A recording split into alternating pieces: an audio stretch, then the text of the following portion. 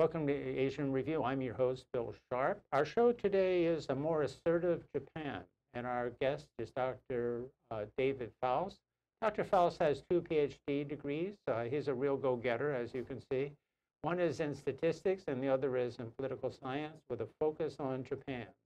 So let's get right into it because time always flies by. You know, it seems to me that, as I recall, the first book I ever read about Japanese politics was called The Japanese Superstate. And it was written by that famous Todai professor, woman professor, the first woman professor ever appointed to that position at Todai, Chie Nakane, who I'm sure is way retired by now. And uh, of course, in those days, Japan was really on the rise. And everybody was beginning to look at Japan as a kind of a model, beginning to be a little envious of Japan. And then came the 1980s. And it, through the early part of the 80s, Japan was really rolling along. There was money everywhere. And uh, Japanese were getting perhaps a little cocky about it. and then came 1989 with the recruit scandal. And that was the beginning of a 20 plus year fall from grace. But do we see Japan recovering its national confidence, its, its, its sort of stature it had in the 80s before the recruit scandal? What's, what's your take on that? Well, th thanks for having me here. Well, you're quite welcome. It's always great to have you. In fact, I should mention to our audience, this is your third visit to Asia in Review, so we're always glad to have you. Yeah, thank you. Um, as far as Japan getting its mojo back, its mojo. That's a really good way to put it. I, I am. I guess I believe there's a lot happening in Japan, and there's great strides being take in terms, taken in terms of making Japan a, uh, a more competitive player in the international arena, uh, economically and uh, in the security front as well. Uh, however, I'm not ready to say that uh, they're back where they were in the 1980s. Mm -hmm. um, my feeling is those days are gone. Okay. Um, you know, the, Japan's uh, economy, I don't think, is ever going to be as strong and vital as it was at that time. Um, basically, because of the demographic problem that they have and and the way that the uh, uh, lack of new workers coming into the economy is going to affect their GDP and so on. Mm. That's really interesting. Um, do you think Japan's rise to preeminence peaking in the 80s was artificial? Well, in, in some ways it was because the export model of growth that, that uh, Japan grew on, um, I don't think was ever going to be sustainable because it wasn't always fair and Japan, you know, had huge trade surpluses with the United States and many other countries and other countries were looking for more access to Japanese markets, and and uh, there was a lot of problems with the trade issues, as you may remember. Right. the U.S. Especially had a, a, a lot of uh, tough talks with Japan about that. I don't think um, mature economies can continue to grow on this kind of export-led growth. Um, but Japan has done a lot in terms of developing its consumer markets as, uh, as well you know, through the past 20 years. So not quite as export um, dependent as they used to be, but still a lot of their growth comes from exports. You know, it, it seems to me that um, the model that you're talking about, it was all based on dumping, mm. blocking out uh, imports from other countries, coming up with real nonsense uh, concerns and checklists and that kind of thing. Like American skis won't work on Japanese snow. Yeah, right, right, right, right, American beef can't be digested by Japanese yeah, intestines. Right.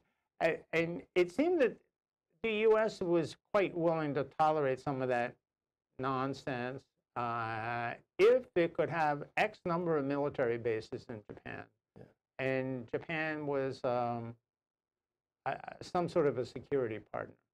Yeah, I, I, agree. That was kind of the the basic deal that you know we would kind of supplement their economy, but Japan was going to be our aircraft carrier in the sea there.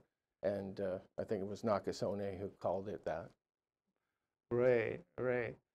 And, you know, it seems to me that while Japan's international image has certainly dimmed uh, since the 80s, there's been a lot of, um, should we call it, quiet revolution that's gone on domestically within Japanese society, and Japanese civic society has really taken a few leaps forward. You were talking about consumerism. Yeah. And, and, and other features which um, Japanese citizens seem to be all that concerned about in the boom boom days of the 70s and the 80s. Yeah, I agree. And one of the areas that you know there there's a lot of push for change now is the role of women. Mm. Um, something that the administration, uh, Abe administration, has taken certain steps to try to address. Primarily, I believe, because it affects that big issue of demographics, which I brought up earlier.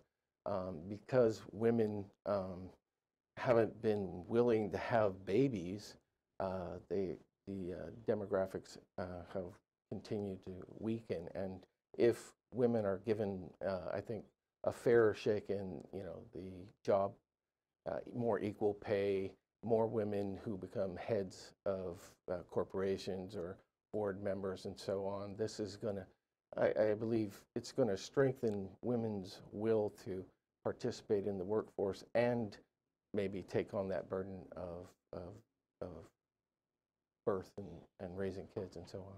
Well, looking at the Japanese experience, the rise, the glory, Mm. the tumble, at least relative tumble, I mean, it still is, what, the third largest economy in the world. Does it have lessons for other countries in Asia, uh, particularly like South Korea, China, Taiwan? Yeah, I, I think uh, all those countries are watching Japan because Japan's not alone in having this uh, problem of an aging population. It's kind of leading the pack, but uh, South Korea, China, uh, Taiwan to a lesser extent, but they're all having this issue of not uh, being able to replace the the uh, people that are dying with the Right. birth rate, and uh, China's going to have a huge problem with this, uh, I, I believe. Um, but you know they have a much bigger population to start with, so um, J- what Japan does and h- how they're able to cope with this problem is is going to be, uh, I think, educational for a lot of countries in the region and other countries around the world that have aging population.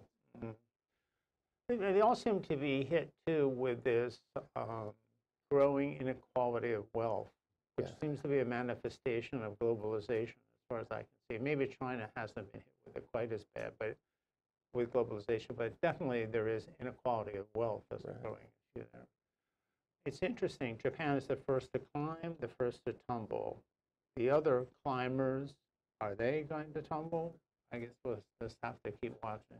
Yeah, I, I don't think uh, Japan's handled the you know demographic issues you know that that well. I mean, they their culture kind of inhibits them from dealing appropriately with that issue. I mean, they're very closed in terms of you know wanting to see foreigners you know be uh, uh, immigrating into their country and so on. And, Right. and changing the role of women is something that a lot of, especially people in the uh, political elite, are resistant to. Right. You've seen this with the uh, recent um, de- debate over passing a law for abdication of the Right. emperor. Right. Um, they did uh, recently pass a kind of one-off uh, to uh, allow the aging emperor to step down for his son, uh, Crown Prince Naruhito. But um, the Democratic Party wanted to get uh, a resolution in there to um, make it so that the princesses were uh, able to maintain their royal status after they marry a commoner Mm. because we're having they're they're having fewer and fewer royals because the princesses are marrying out and there aren't that many males. Mhm. Well, there the Democratic Party had to really push hard against the uh, ruling Liberal Democratic Party to get that resolution tacked on to that bill, that one-off bill. And um, so there's a lot of resistance in the current administration to changes that would allow a, a bigger change where maybe women would eventually be able to become the empress. Right, Although historically there was numerous cases of that happened. right, right. In the old days, In the the old, old days, Yes, yeah. yeah. Uh, So that, I think that's symbolic of kind of the resistance to the changing roles of women in Japan. Hmm, that's interesting. That's really interesting. Now, when you say one-off, I want to make sure you I understand what you're saying here. They changed the law so that the current emperor could abdicate, but future would, would, would that opportunity still be open to future emperors, or is it just this one time for the current emperor? Yeah, it's just this one time, and any other emperor in the future will have to have the uh, Diet pass a similar resolution, so on. And there, it, this is um, basically because of the conservative positions of members of the administration and, and the uh, Liberal Democratic Party. The uh, public overwhelmingly, overwhelmingly supported a law that would make it permanent Hmm, that abdication would be okay in the future. Um, but the uh, traditionalists didn't really want to see that happen. hmm. Interesting. Uh, interesting. Interesting. Well, let's uh, talk specifically about the leadership of Mr. Abe. And um I mean, for so part of Japan's problem has been revolving door prime ministers. Uh, prime minister is around uh, eight months, ten months, maybe everybody's lucky, and then it was gone. And we went through so much of that. And then Mr. Abe, who was part of the revolving door phenomenon at one time, came back. 2006, 2007. Yeah, got his act together, and he, he's been a, uh, a pretty strong leader, it seems. Yeah. Oh yeah, he's he's accomplished a great deal, um, both economically uh, with his Abeno- Abenomics program. Mhm. although it hasn't been as successful as he would have hoped, I'm sure. Um, but also with kind of reasserting Japan's um, presence on the international stage, Mhm. and uh, you know his his moves in Asia, especially to uh, reassure uh, other countries in the region that Japan is re- going to remain a major player economically and in terms of security. Uh, I think have been remarkable. You know, it is, it's, it's interesting though, as you were saying just before the show started, uh, as we were chatting away, um, really Japan needs the United States. And, and other countries in Asia do too. China's just too big. Yeah. Uh, it's too big, it's increasingly powerful, it's the, the, the wealth of China is always seems to be a question mark to me. You know, just how much money can China spend on this, that, and the other thing, and the debt is rising, but it doesn't seem to faze anybody. Um, and perhaps compared to other countries in Asia, it's it's deeper pocketed. Yes. Um, so countries in Asia really do need a, an alliance with the U.S. or some other power. Um, now, one of the most controversial things about Mr. Abe has been his push for constitutional reform, uh, specifically Yes. Article 9. And could you bring us up to date on that? Well, um, they are looking to uh, bring a draft proposal of a uh, revision of the Constitution um, to uh, the Diet in the late uh, late this year, sometime in the um, possibly in the fall. That was the plan, and this this revision is um, from reports uh, that I read is going to basically state that the self-defense forces are legitimate. You know that they the Constitution does allow for the self-defense forces to make them a military. Because you know under Article 9 of the Constitution Japan was to renounce war as a way of resolving differences as well as not maintain military forces. And Japan does maintain military forces. It's got one of the strongest militaries in Asia Right. so, you know, to rectify this obvious in- inconsistency, um, is focused on that as a reason to revise the uh, Constitution. Um, some folks who are a little wary of this think that this might be, you know, just a, a reasonable way of opening the door to uh, further changes. And uh, so there's people that are still opposed to this. But I, I've seen polls that show the majority of, of Japanese believe it's okay to amend the Constitution to state that the SDF is, is legitimate. Well, this is a really good point, and this is also a really a good place for us to take a break. So you're watching Asia in Review. I'm your host, Bill Sharp. My guest today is Dr. David Fouse. Our show, A More Assertive Japan. And uh, we'll be right back, so don't go away. Everyone. I'm DeSoto Brown, the co-host of Human Humane Architecture, which is seen on Think Tech Hawaii every other Tuesday at 4 p.m. And with the show's host, Martin Despang, we discuss architecture here in the Hawaiian Islands and how it not only affects the way we live, but other aspects of our life, not only here in Hawaii, but internationally as well. So join us for Human Humane Architecture every other Tuesday at 4 p.m. on Think Tech Hawaii. Planning all week for the day of the big game. Watching at home just doesn't feel the same.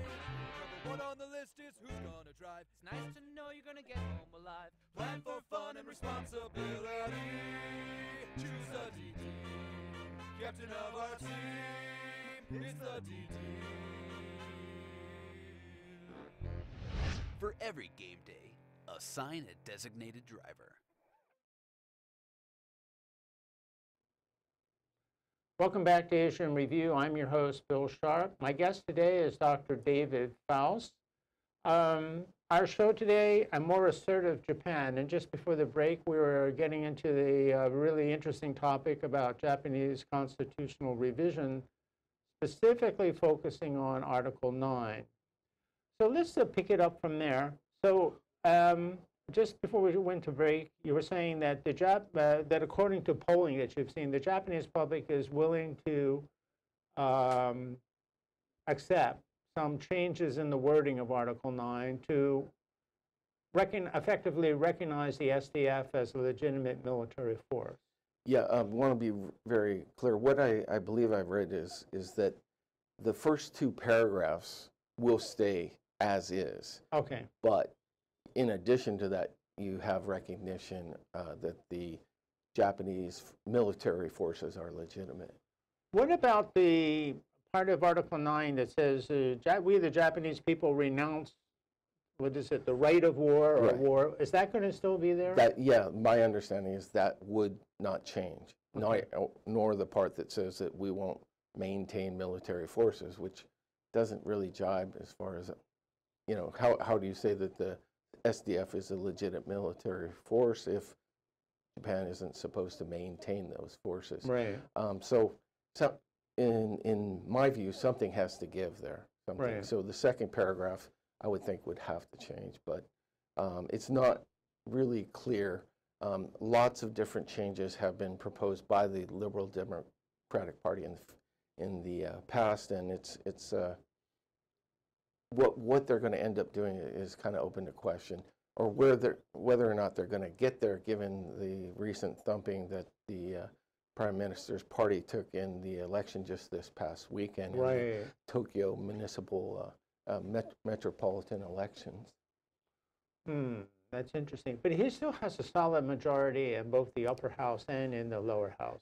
Yes, he's he's got the best uh, situation anybody's had in in many many years to try to push through basically anything he wants. The problem is that uh, recently he pushed through an anti-conspiracy law that really angered a lot of people. It was supposed to deal with terrorism, um, but how it it uh, it was so vague and broad that many people feel it's it's going to impinge on people's privacy rights. Even the uh, UN rapporteur for uh, privacy rights uh, wrote about uh, this being uh, they need to redo this, they need to rework this, and uh, I, I saw reports that things like um, picking mushrooms in forests uh, that are preserves will be you know considered you know conspiracy under under to commit terrorism under this law, um, illegal bicycle racing. Uh, there was just all kinds of things thrown into this bill, and it, the people, although they're split on whether they need it or not, uh, the vast majority believes it was just rushed through. Hmm, that's And, and that's the problem with having both houses and nobody really to, to block you. Mhm. Um, but yeah, he has the uh, votes if he, he gets to that point where he gets his, his constitutional revision on the table. It's, it's, it's possible that he could do this. Uh, however, Abe is going to now, uh, because of this thumping he took in this weekend's elections, he's going to start facing challenges from inside his own party uh, for leadership. And, uh, you know, he, he was on his way to becoming the longest serving prime minister in post war history. Uh, he, he may still get there, but um, with this anti uh, conspiracy law being very unpopular, Mhm. uh, he has a scandal of influence peddling that involves him and a bunch of his team members. Uh, his wife was even pulled into this. Um, this is one of the reasons he took the thumping in this election. Uh, he, he's not been really open to investigating that uh, uh, scandal. So Abe is a little bit, you know, he, he's a little bit weak right now. Vulnerable? He's vulnerable, yeah. And who would his who would his number one contender be? It used to be said that Aso was really interested in being prime minister, but I, I haven't heard his name mentioned recently. Well, I, I think um, the guy that he ran against was um, Ishiba, who was a former uh, defense minister. When he won in 2012, he's, he would still be a top contender. Um, this, uh, some people might think this governor of Tokyo, uh, Yoriko uh, Koike, She used to be defense minister also. yes, yeah. she was part of the LDP as well, and she she left them and started this uh, Tomin First no Kai as Japanese uh, as uh, Tokyo residents first. Okay. Sound familiar? um, she's- oh no no no! She doesn't have links there, does she? She she's pretty conservative, but she's very popular, and she she is a kind of a populist, and uh, people are talking about her possibly, you know, taking the, her popularity to the national level. Um, she's somebody you would have to consider, but uh, ver- various uh, uh, people in the top levels of the LDP, I believe, will probably run. so what about Aso? Is he gone now? Is he faded away? I don't, I don't think he's a. a- fallen from grace. Yeah, or- I don't think he's a top contender for the prime minister's office. That's that's my view. Oh, interesting, interesting, interesting. Well, um, Abe certainly um, really wanted the U.S. to stay with TPP. Yeah. And um probably was pretty disappointed when Trump came out and said, well, we're pulling out of TPP. And now the story is that Japan seeks to lead TPP. Did Japan do that? Oh, that's a good question. Um, I I remember Abe saying uh, shortly after Trump was elected that without the U.S., TPP would be meaningless, Mm. and uh, he seems to have kind of changed his tune on that one a bit. And yeah, I have seen that he's thinking now that maybe Japan needs to assert leadership in in pulling this off. I'm skeptical uh, about that. Um, whether Japan could offer the type of incentives, you know, the, the market incentives to some of the uh, countries like Vietnam and Mm. Malaysia and so on, that the U.S. would offer, you know, to make this thing work.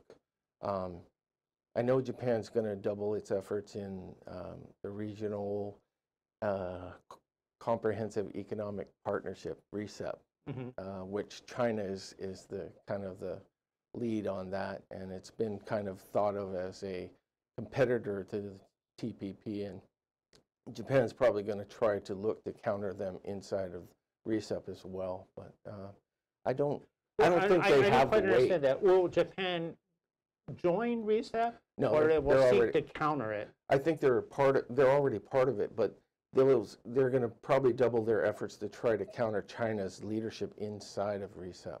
Okay. as well as trying to revive the TPP. Um, but you know, there there are going to be some obstacles, I think, to really getting a, a TPP to to uh, succeed now. Has, has Japan joined in on the China's big project at the moment, the One Belt, One Road? Um, I think they're not as, as involved as many other countries. Uh, uh, They're Okay. more waiting and watching. And, um, you know, most of the other countries in the region, including, uh, I think, South Korea, others, are very interested in this. As far as I recall, Japan did not join the Asia Infrastructure Investment Bank, No, along with the United States. Yeah. Stayed out. Good, good ally. Well, um, uh, we're sort of running down here on time, uh, but um, let's just talk for a minute about the South China Sea, because it seems Japan wants to assert more influence on the South China Sea as well. Yeah. Yeah, Southeast Asia and South China Sea in general is, is become, it seems, a major focus of Japan. Um, once again, both economically and in terms of security cooperation. I've seen Japan uh, raising the amount of foreign direct investment that it's sending into like some of the top uh, ASEAN economies. And uh, on the uh, security front, they've uh, have this uh, I think it was last November, they announced this Vientiane vision, this initiative that they have for security cooperation. Basically, nothing new coming forward, but uh, uh, a, a framework for what they're doing with ASEAN in terms of security cooperation, you know, all across the spectrum in terms of just uh, having uh, HADR or humanitarian assistance, disaster relief, and peacekeeping operation training with each other, um, capacity building of various types. Uh, then there's like uh, Japan's new emphasis on providing uh, technology transfers, which since 2014 they've been able to do because of changes in the law. And that I, I see as a major emphasis and something that the Southeast Asian countries are very interested in. Uh, they've been doing this a lot with the Philippines and Indonesia as well. Um, you know, the patrol boats. Uh, Japan's focus is on the maritime uh, Right. domain and, and maintaining rule of law Right. in, in that area. Well, I've just been told that the clock has caught up with us again, so I guess we're going to have to stop it here, but there's so much more we could talk about. Uh, That always seems to be the case, or the quandary that we fall into. Yeah. So I want to thank you very much for coming back and joining us Thank for the you. third time. And I want to thank you for watching today, and we'll see you next week.